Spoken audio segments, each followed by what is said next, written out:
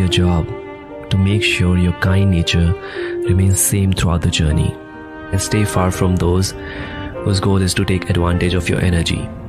You are a rare gem in this world. So just keep shining your light wherever you go.